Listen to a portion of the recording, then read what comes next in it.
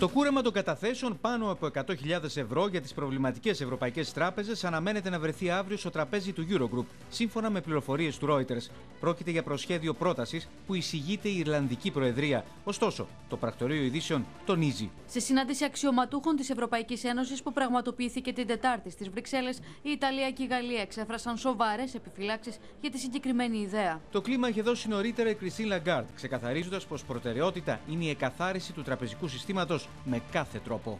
So the priority must be to continue to clean up the banking system by recapitalizing it, restructuring it, or where necessary, sizing it down by shutting down some banks. Την ίδια ώρα η Κομισιόν κρούει τον κόδωνα του κινδύνου κυρίως για Ισπανία και Σλοβενία, καθώς εκεί παρατηρούνται, όπως λέει, υπερβολικές ανισορροπίες. Έχουν υψηλά ελλείμματα, υψηλό δημόσιο χρέος και ανισορροπίες στο τραπεζικό σύστημα και στη δομή της αγοράς εργασίας. Slovenia is absolutely not uh, Cyprus.